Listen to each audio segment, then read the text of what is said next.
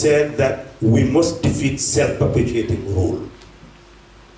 And to defeat self-perpetuating rule, we must have somebody who's not power hungry. Therefore, the presidential candidate will also make commitment just to serve for three years. Even though the constitution says five years. As an example, because if the person serves for three years, then we will come with a constitutional reform so that we will establish a two-year term. Five, five two-year, five, five two terms. And that was the agreement. The person to stand as an independent candidate and the person to serve three years and constitutional reform to take place so that no president will serve more than two terms again. We agreed on that and started the process of national reconciliation. The country was divided, insults everywhere. The incumbent then had insulted one of the, or the main ethno-linguistic group. And that led to anger, led to insults on the other side. And even when we started our campaign, those insults continued. We saw that that will divide our forces. We educated everyone on the campaign trail that yes, the incumbent could insult an ethno-linguistic group. Yes, those who deemed to belong to that group could continue the insult, but we will remain uh, divided, and divided will be weak. That it was necessary to embrace the principles of the republic the principles of democracy, to accept we were all sovereign citizens with one vote and every vote counts. So therefore we should unite on the basis of our citizenship and avoid using a language that will disunite us. In that way, we will cement our unity to be able to defeat the incumbent. People accepted the clarion call of one Gambia, one nation, one people. We campaigned with that slogan. By the time we reached the urban area, the coalition was cemented. The people were organized. The people were focused. We were not divided by political parties. We were not divided by ethnicity. We were not divided by religion. We were united by our citizenship and our determination to effect regime change. And that happened on the 2nd of December. The announcement came. Victory was attained. The incumbent was convinced that he was defeated. That is why he accepted the results. But in a week later, when you come face to face with powerlessness,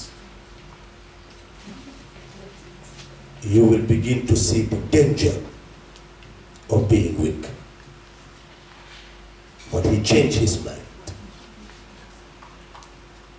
At that time, the fundamental question was, should we confront the incumbent and remove him with force? Or should we adopt another method ensure? Eventually, Gambians were convinced that if we are aware and organized, what we want we'll get. And therefore, to be organized, we must agree on the method we are going to use to effect the change that was necessary. We told the Gambian people that here is a constitution which is inviolable. Here was the verdict of the people which is inviolable. Therefore, our duty was to defend these two things. We must defend the verdict of the people. We must defend the verdict of the Constitution. That was the basis of legitimacy, which had to be supported internationally.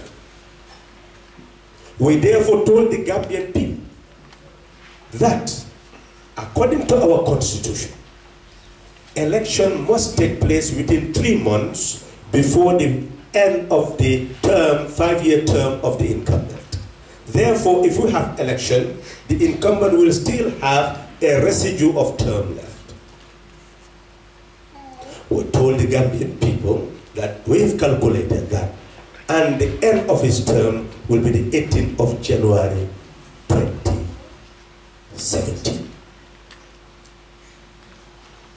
That there was no need for anybody to go in the street. That he had legitimate authority to direct the troops wherever he so desired. That everybody should prepare for the 18th of January 2017. That when that day comes, he must leave. If he fails to leave, he will be a rebel. And anybody who supports him after that day will also be considered a rebel. That therefore the Gambians should wait for that day. Because all of us accepted that day, we became united in waiting for that day. We told the same thing to ECOWAS, same thing to AU, same thing to United Nations. The international community also accepted that agenda and all of them waited for 18th January 2017. We didn't stop there. We decided to talk to the security forces in the Gambia to tell them that the verdict of the people has to be respected, the verdict of the constitution has to be respected. And if they fail to respect it and protect one that has gone against those two verdicts, they will also be rebels and they will throw our country into war.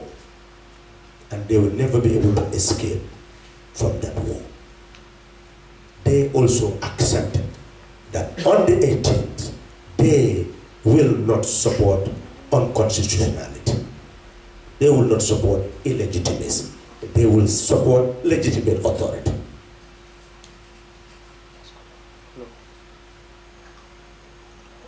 We continued to repeat that over and over again. All of you knew the state of the Gambia.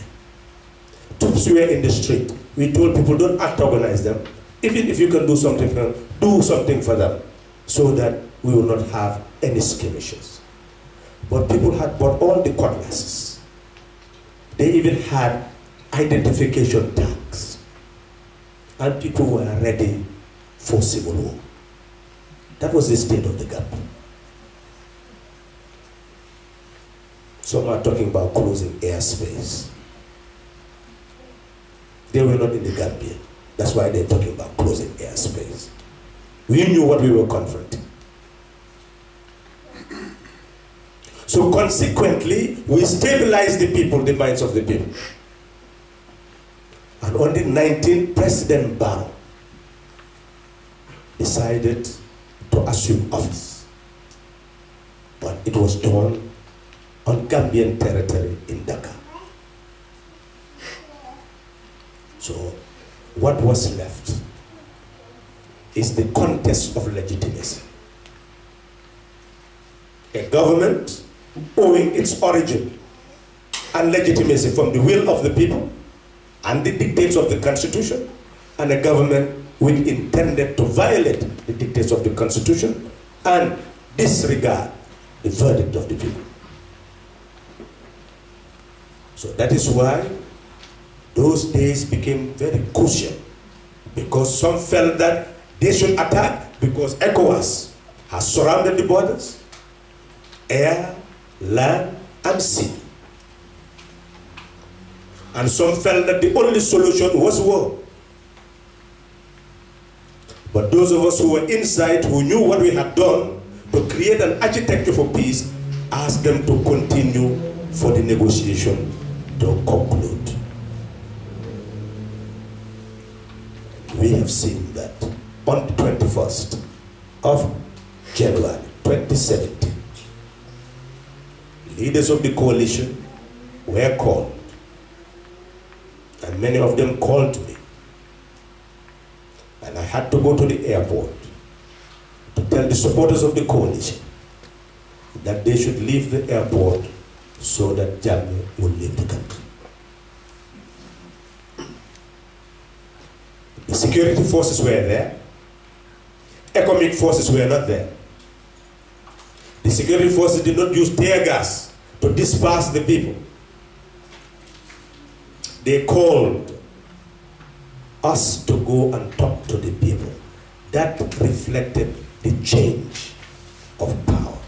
That the person who was in the state house was no longer in command of the security forces of the country. And consequently, when we did that, he left the country.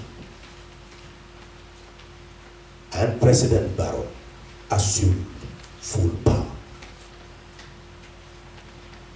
To ensure that there was no looting, there was no destruction of, of government properties, the security chiefs were asked to assume their responsibilities and the civil service to assume their responsibilities so that there will be no vacuum for somebody to think that anything else could be done.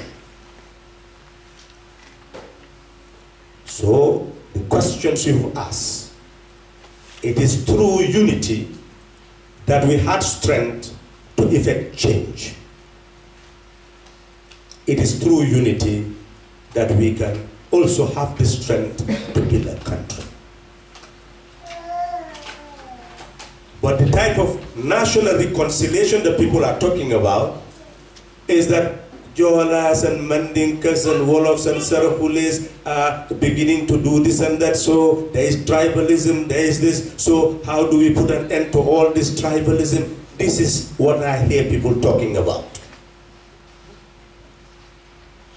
Some even reconciliation uh, meetings have been held in that country between certain groups, Foni, etc. I have never been part of those meetings, and I will never be part of those meetings. Why? The reconciliation is not about tribes and religions. The unity is about sovereign Gambia being built to be sovereign Gambia and the sovereign Gambian people being built to be sovereign Gambian people. You cannot have a new Gambia without a new Gambian. You cannot have a new Gambian unless each Gambian recognizes that power belongs to him. He and her, they own the country. And that there is no minority in that country. There is no majority in that country. There is only the Gambian person, the Gambian people. Is what must be recognized because that is the truth.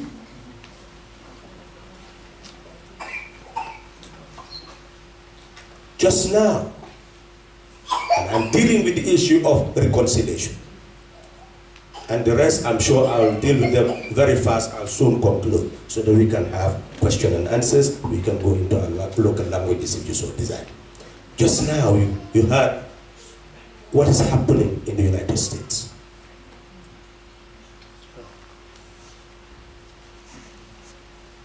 They are talking about white supremacists. They are talking about racists. They are talking about Klansmen. But I believe they are helping those people by using those terms. We must call a spade a spade. I provoked some young people in Stockholm. Of course, they, they had to respond. I told them that there is no racism in the world. There is no Islamism in the world. There is no tribalism in the Gambia. But they didn't say anything. After a while, I said, I said all these things and you want me to, to, to, to go away with it? You are not going to challenge me? Of course, a young, bold lady girl challenged me and said, all this discrimination that is taking place everywhere we go, people call us all this name. You're saying there is no racism in, in no, no, no, there is racism.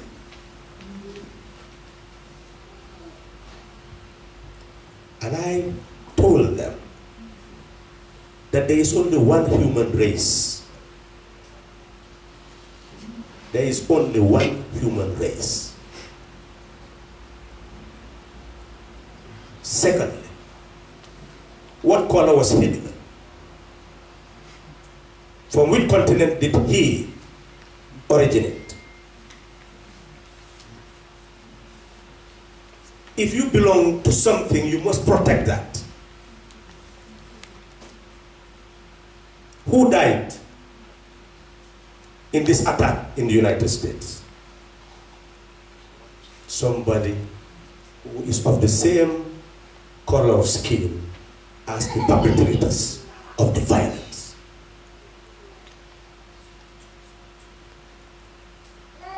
So you are called what you protect.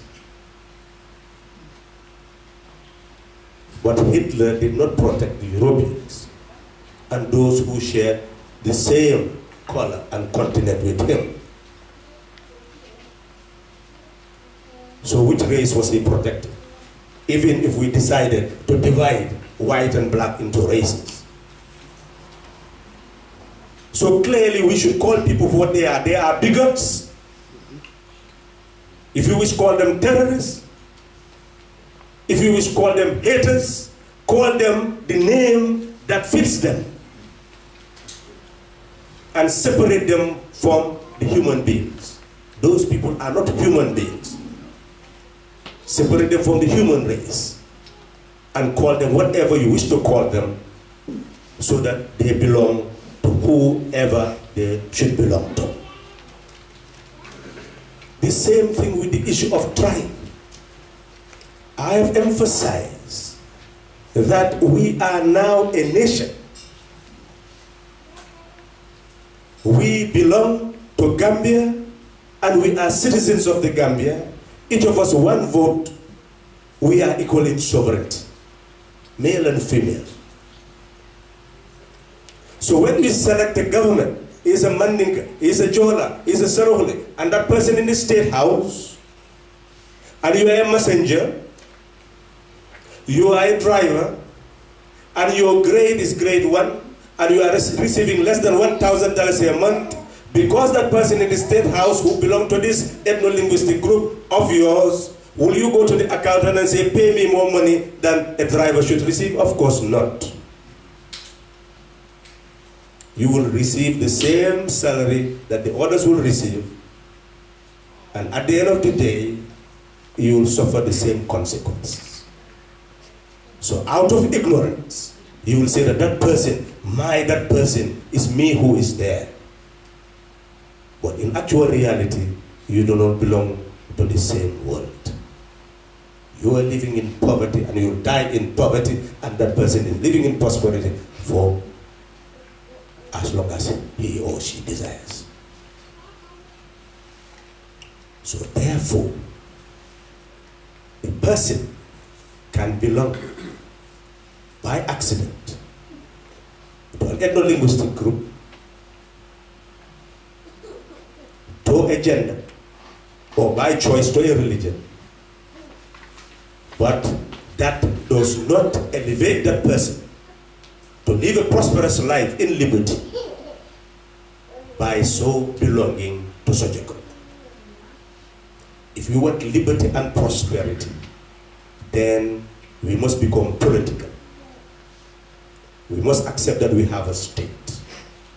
We must accept that the state must have policies that must be implemented so that we can have schools, we can have hospitals, we can have roads, we can have infrastructure of all sorts so that we can live in prosperity. Therefore, the president we elect has to have a cabinet and receive our revenue and provide us with the services we need. And when you go to a hospital, irrespective of your origin, You want a doctor who can cure you. You do not say, well, I want a doctor that comes from my ethno-linguistic group, that comes from my religion, that comes from my gender. You want a doctor who can cure you. And when you go to school, you want a teacher who can teach your child. The engineer who will provide the electricity and water supply you need, build the houses we need, the roads we need. That's what we need. So, my caution. Science has said, if a particular thing is repeated unremittingly, you can make truth to appear to be falsehood and falsehood to appear as truth. There are some people who would want, out of opportunism, to move others to support their cause so that they can have power that they can use for their own interests against the interests of the very people whom they mobilize. And if you continue to insult each other, Mandinkas this, Jolas that, Wolof that, Sarakuli that, that is what is going to be maintained in our own thinking. And as a result, eventually, that will become the reality. Because as you talk about other people, they also get intimidated, frustrated, and eventually feel that, well, as a group, we must combine also to use the same language against the other. That is what we avoided to form a coalition. That is what we must avoid now in building a nation.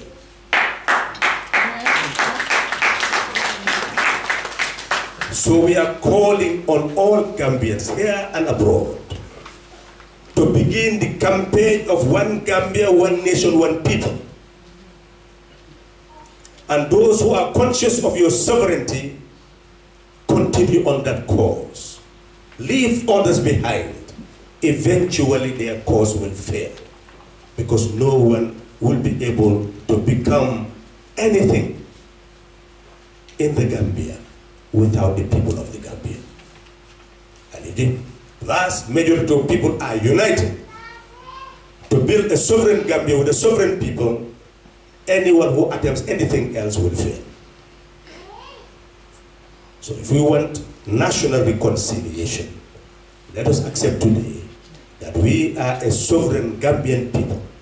And now we see and recognize the sovereignty of our fellow citizens and we will cooperate with them to build the Gambia that is fit for us to live in. Second aspect of the issue.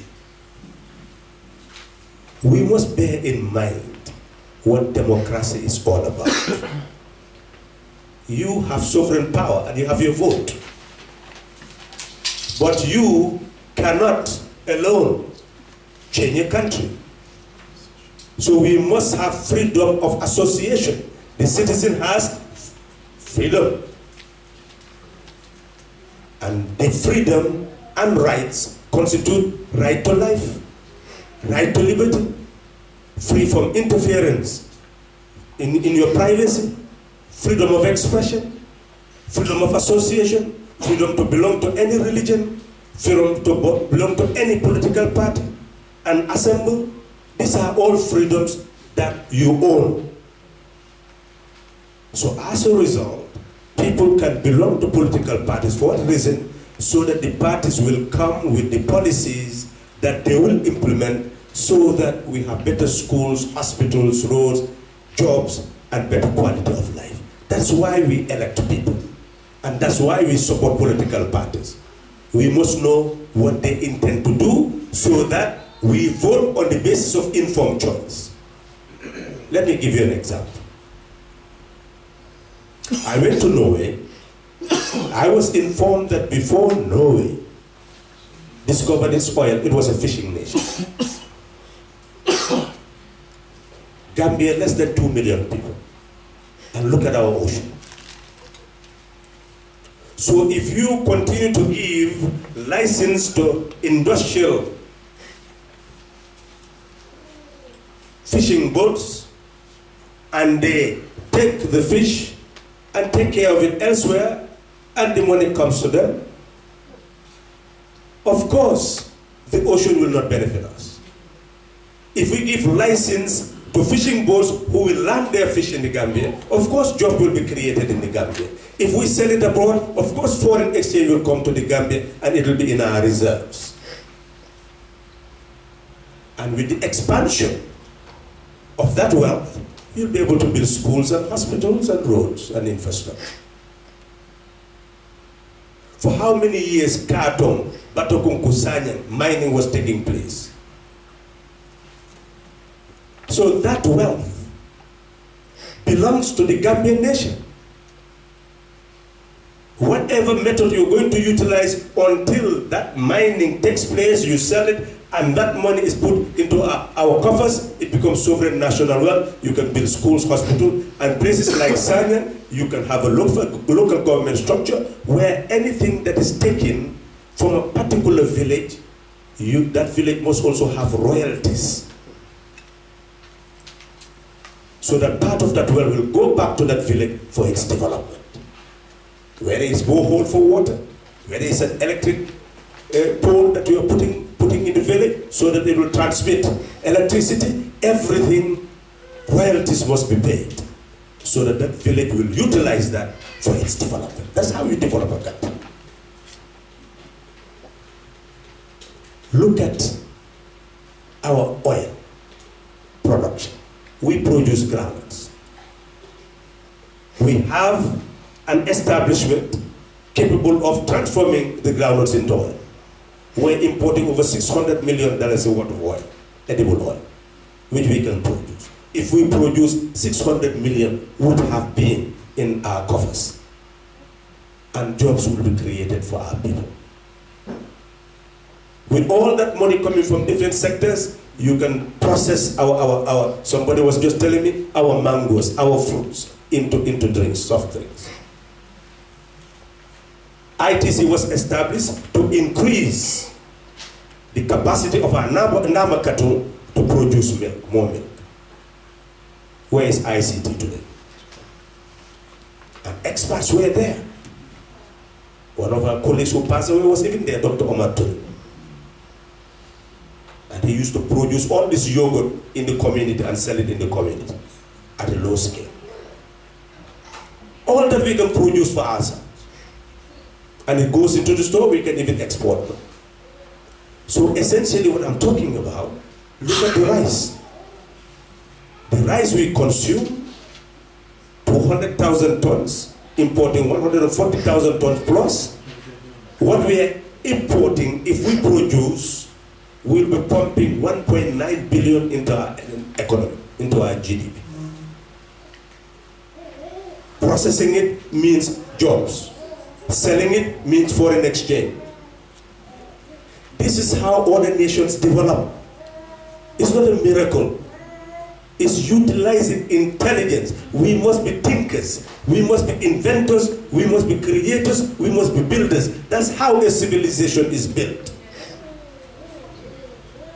All these countries were poor countries because humankind starts from lack of technology. Technology has to be produced, has to be created. So in short, democracy is about each citizen gaining the maturity of how a nation is governed. Understand your executive, understand your legislature, understand your judiciary, understand the roles they are to play in society, and take your responsibility as someone who can elect or be elected to a post to run your society. That's what democracy is all about. And citizenship education should be in our school system. From nursery school, you begin to understand that you are a person who belongs to a nation. That's where you defeat sectionalism. For the person to know that he is, he is a person, but also a social being that belongs to a nation. And is growing to occupy a division of labor in society. I remember in Anyako Nursery School, The children used to be asked to prepare their minds for the future. What do you want to be? I want to be president. I want to be a nurse. I want to be this. I want to be that. So they start talking about what they want to be in the future. All this is part of socialization.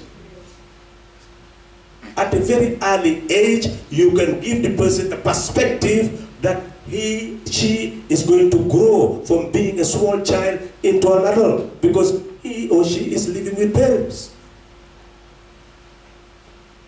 It depends on your education system. You can role model the children in democracy. They can even take leadership position. Who, who is a child who, who is a bully, who is a child who can help the other children. You say, okay, let's elect that child to, to, to take care of the rest, to look after the rest. All these are leadership qualities that you can start building in human beings at a very early age.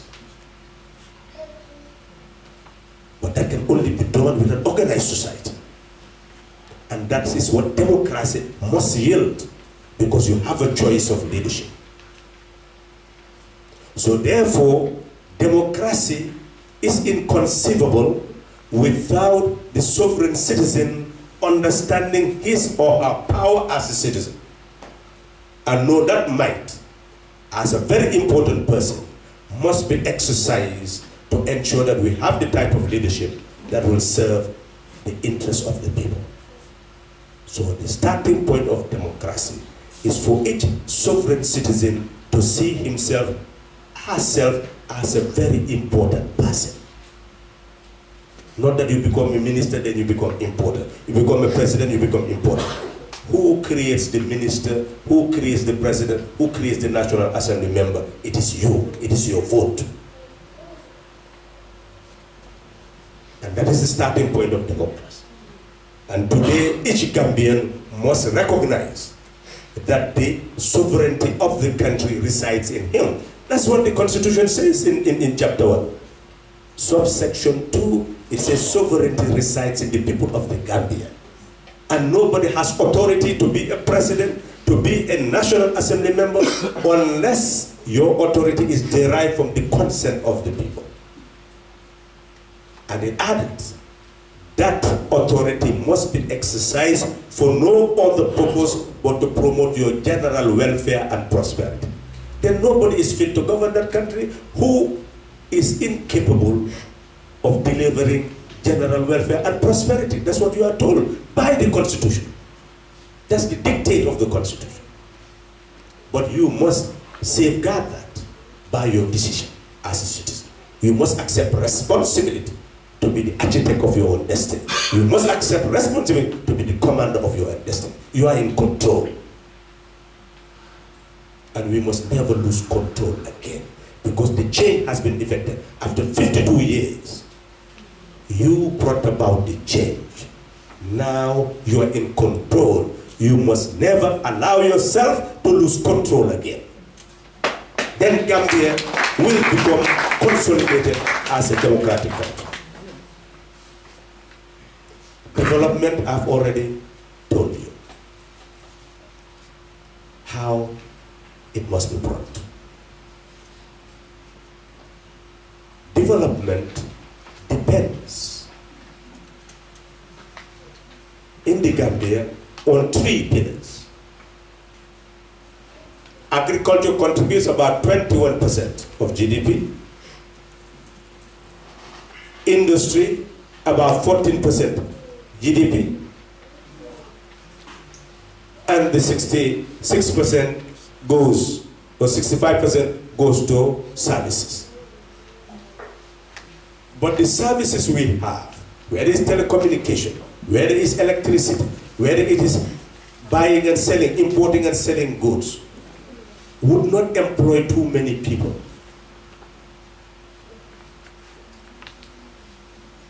The bulk of the population live in the rural area, 60%, 40% in the urban area. But you do not have industries to employ people.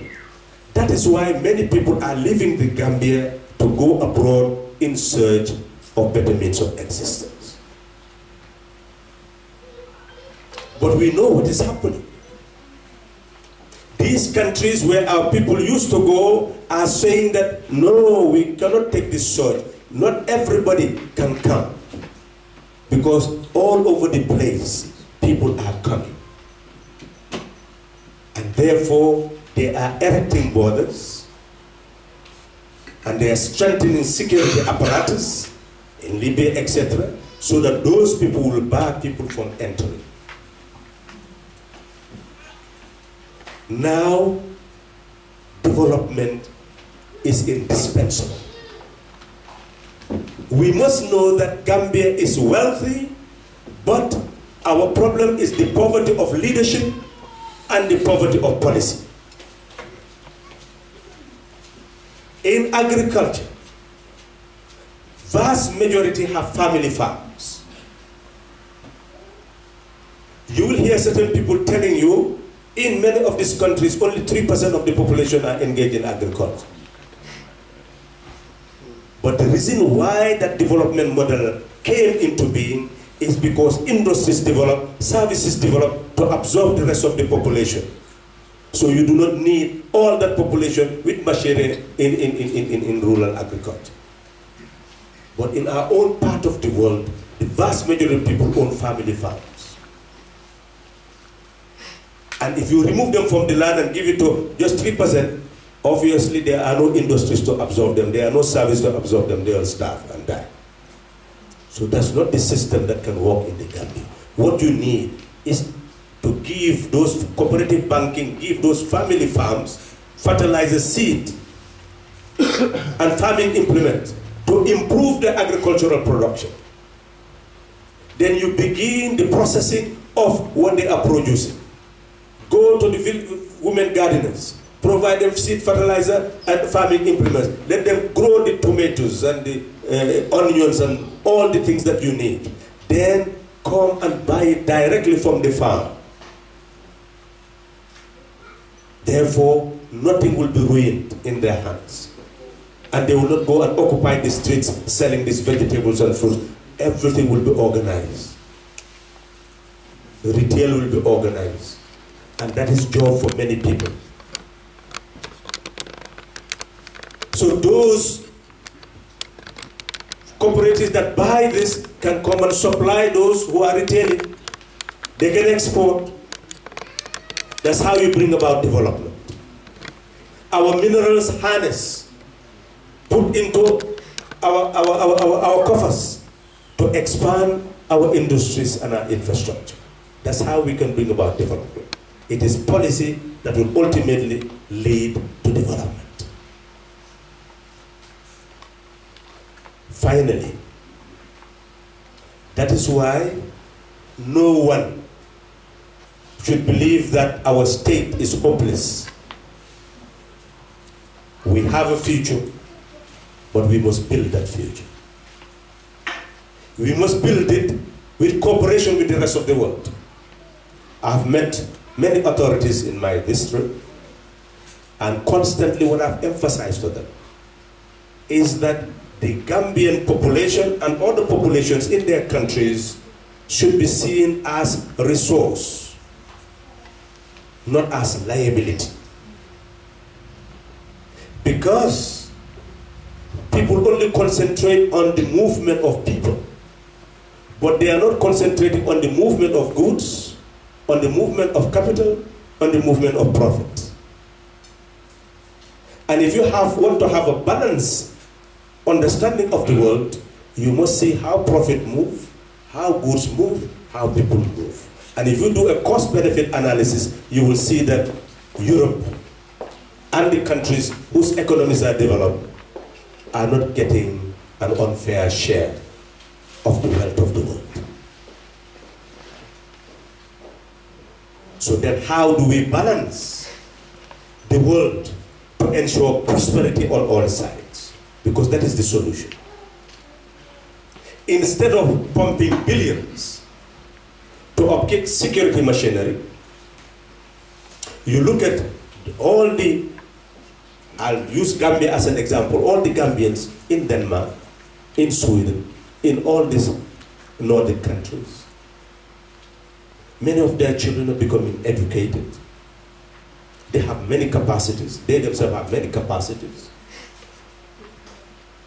If we have homes that are organized, we will ensure that Gambians will team up here and establish enterprises in our country. The young can be supported, even in terms of development cooperation, to have small and medium-term medium-sized enterprises in, in the country. And those who would have migrated could team up with them so that they work and produce. That will be productive. We will export some of these things into this part of the world. We'll be able to consume some of their technology. So therefore, you can have a world that is growing on a win-win basis. That is how we can change the world. But if that part of the world continues as it is, without the leadership and the policies that can facilitate economic development, our consumption will con con contract. Therefore, in this part of the world, the sale of their machinery, whatever, will also contract. And at the end of the day, you'll end up with a world depression. All of us will become losers. So it is therefore important that we have leaders who can articulate our concerns not only in a narrow sense, but in a universal sense, so that all of us will be awakened to understand that we have a duty not only to our countries, but to the world as a whole. That is absolutely essential.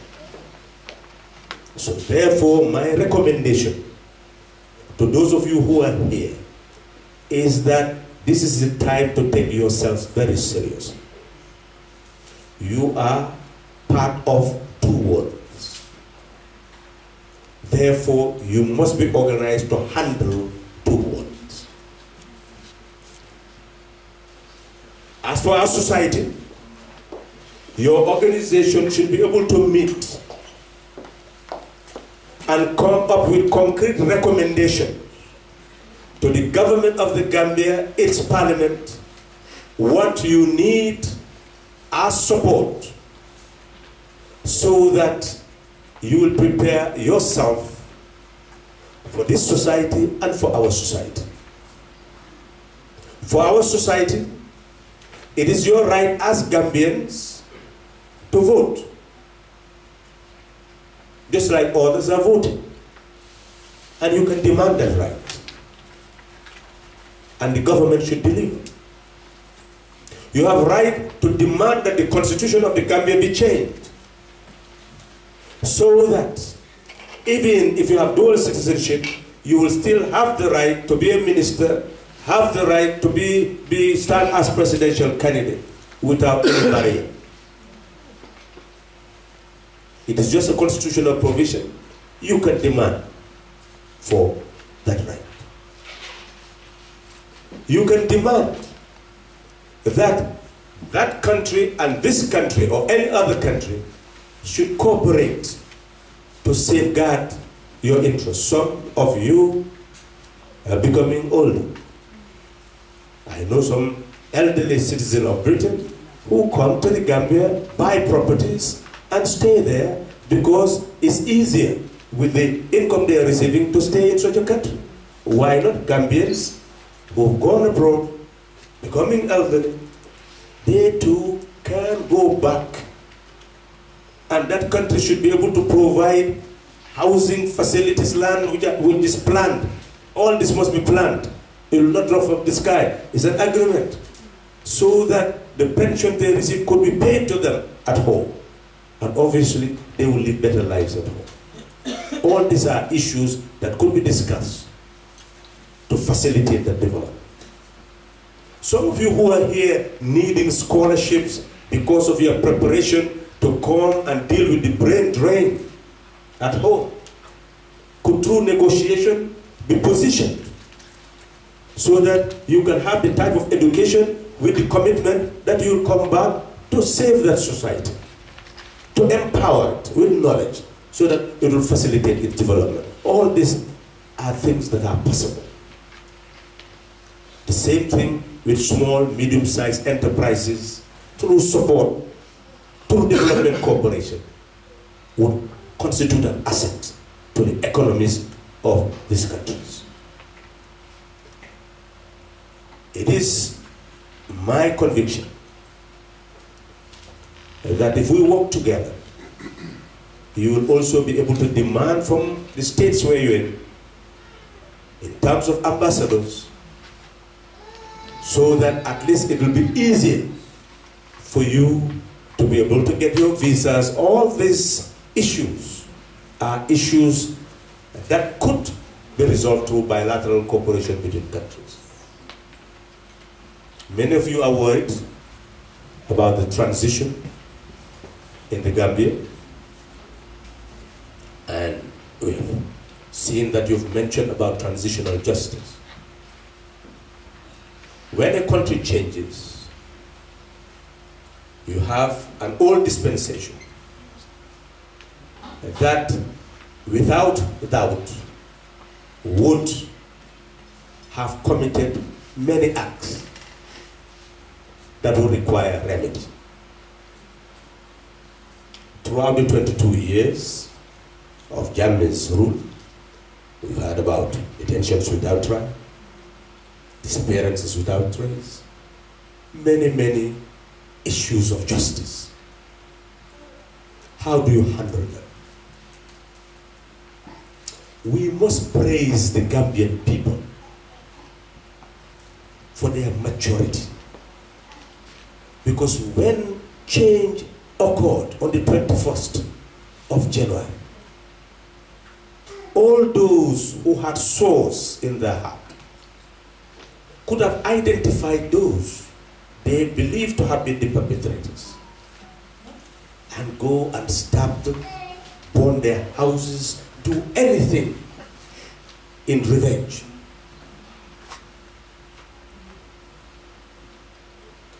But that spirit of revenge was prevented because of a long process of transition where people were hearing discussions of what we should do to ensure that we have a peaceful transition.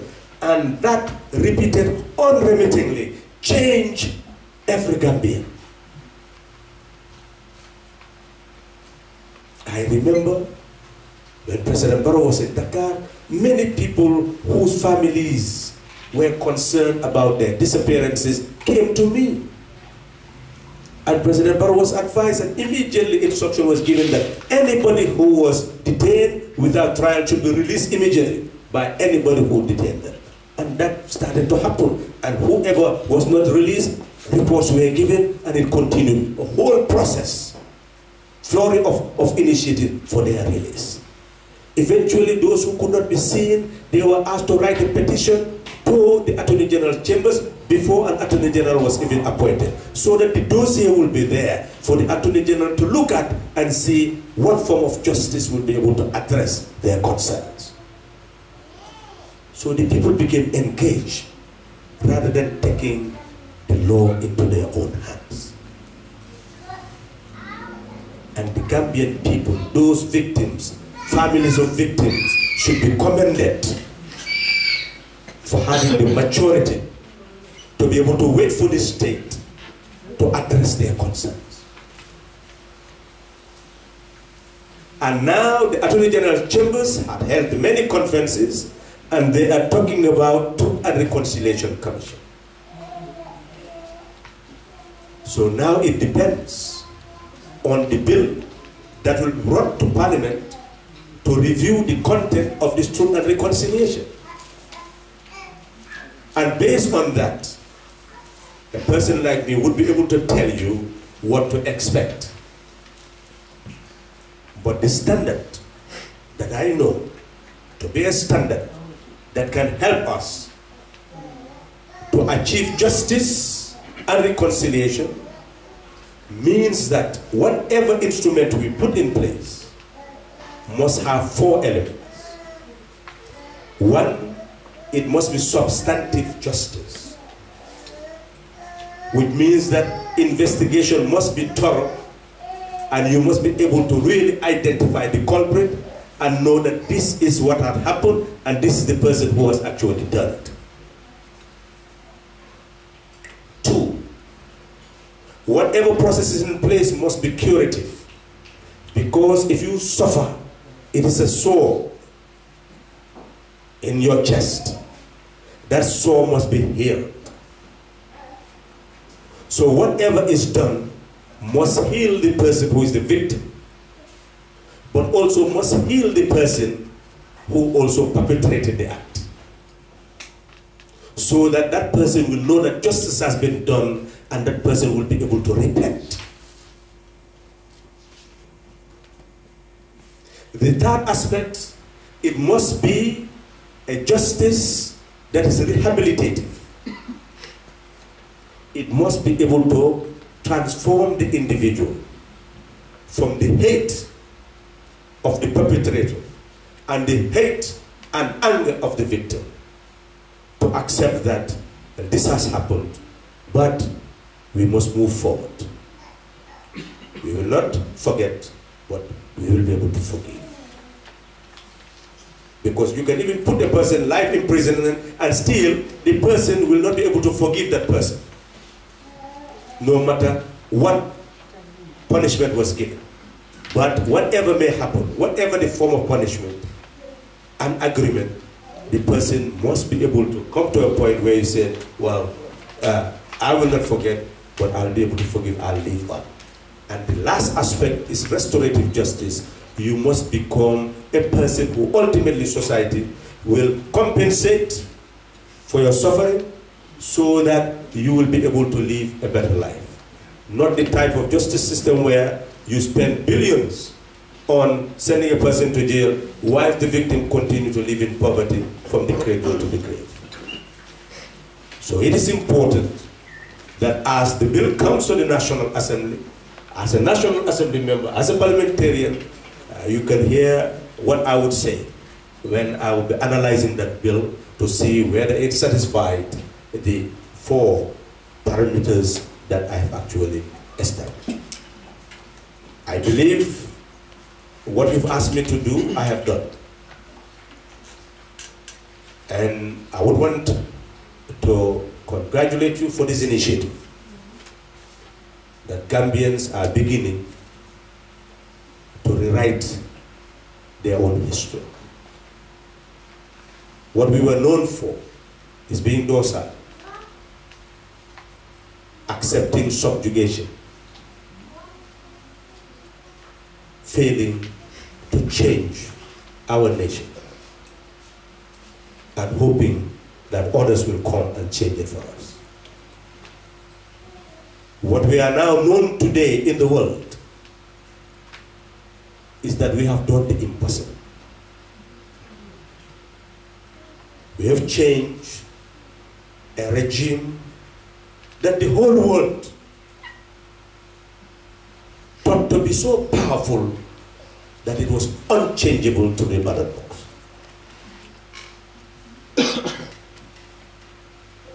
and many powers on earth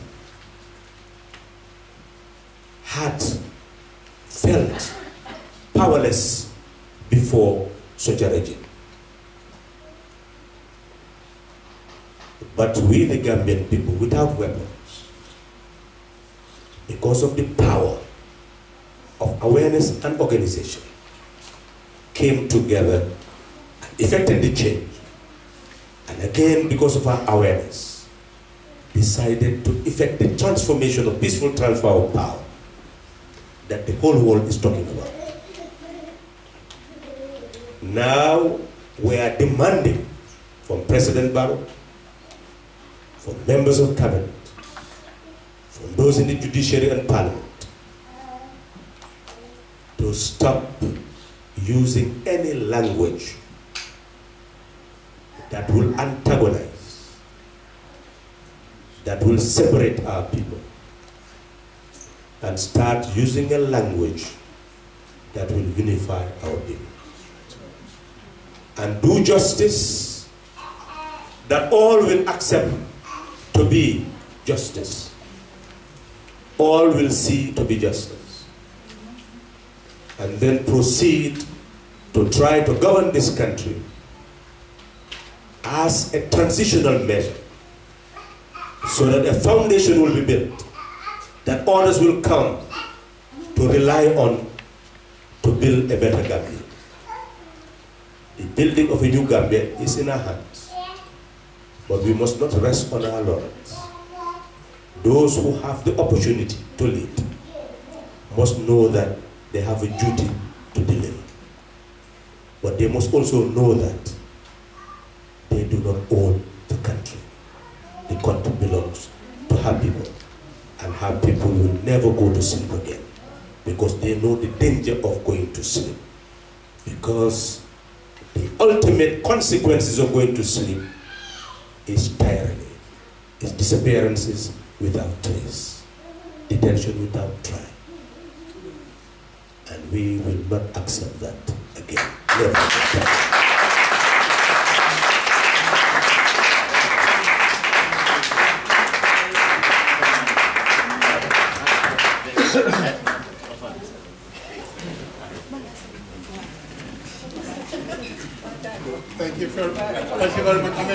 I just want to say, can we just take uh, yeah. about five minutes break before we start uh, questioning again?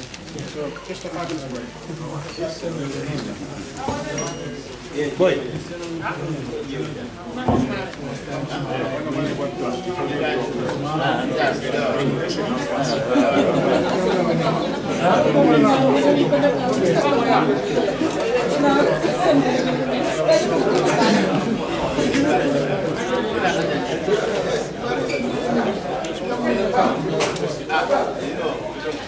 waaw waaw laaj na naka la baax ah.